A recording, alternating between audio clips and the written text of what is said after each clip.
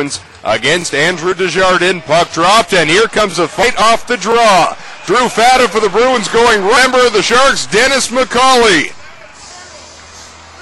Fata caught down immediately.